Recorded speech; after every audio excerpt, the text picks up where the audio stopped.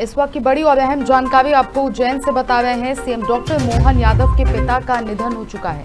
ये बड़ी जानकारी सामने आ रही है। साथ ही आपको बता दें कि थोड़ी देर में उनका अंतिम संस्कार किया जाएगा। ये बड़ा अपडेट इस वक्त का सामने आ रहा है। भूखी माता मंदिर के पास उनका अंतिम संस्कार होगा। बता दें कि सीएम डॉक्टर मोहन यादव के पिता का निधन हो गया है। पूनम चंद यादव ने 100 साल की उम्र में अंतिम सांस ली। लंबे समय से वो बीमार चल रहे थे, जिसके चलते उन्हें उज्जैन के अस्पताल में भर्ती भी कराया गया था। और सीएम डॉक्टर मोहन यादव के पिता का निधन मंगलवार की देर रात हुआ। साथ ही बता दें कि थोड़ी देर में उनका अंतिम संस्कार किया जाएगा और भूखी माता मंदिर के पास उनका अंतिम संस्कार होगा। ये बड़ी खबर इस वक्त की सामने आ रही है, जहाँ आपको बता दें कि सीएम मोहन यादव के पिताजी का निधन हो गया है और उनका अंतिम संस्कार कुछ ही समय में किया जाएगा। साथ ही आपको बता दें कि 100 साल की उम्र में उन्होंने अंतिम सांस ली है।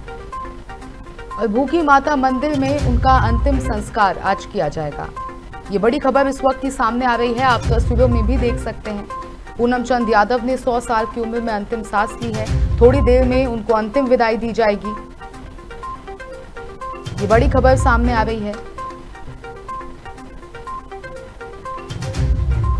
थोड़ी देर में उनका अंतिम संस्कार किया जाएगा। बता दें कि उज्जैन के एक अस्पताल में तबियत खराब होने के चलते उन्हें भर्ती कराया गया था।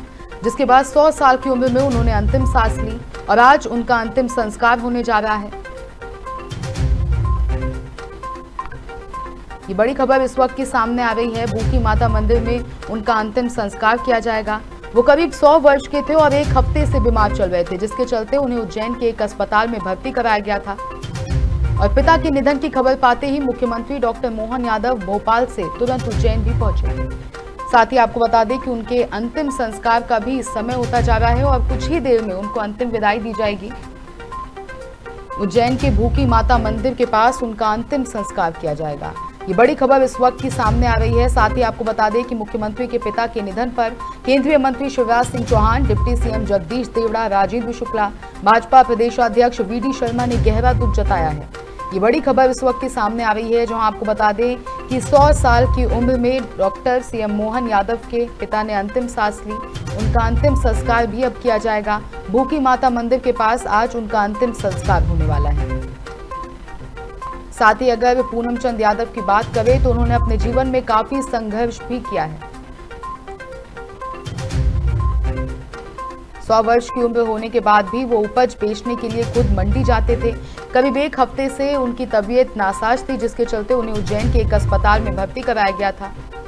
और कल देर रात उन्होंने 100 साल की उम्र में अपनी अंतिम सांस ली और आज उनका अंतिम संस्कार किया जाएगा।